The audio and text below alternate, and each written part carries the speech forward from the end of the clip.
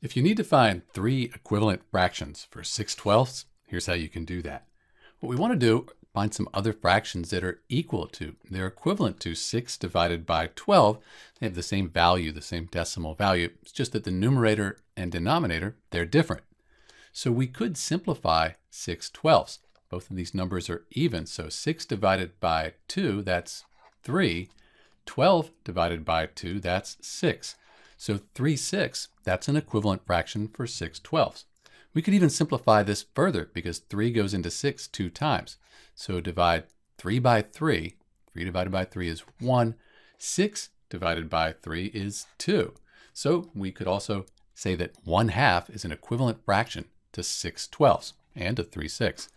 In all of these, 6 divided by 12, 3 divided by 6, or 1 divided by 2, you get 0.5 because they're all equivalent. They have the same value, they're just written differently.